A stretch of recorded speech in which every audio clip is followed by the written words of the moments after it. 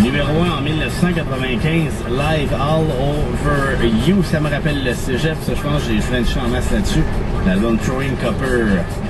Marie-Lise Bélan, position numéro 3. On avait Jack Johnson avec les Fire Eyes de l'album Sleep Through the Static. C'est le fun de le voir, Jack Johnson à Montréal.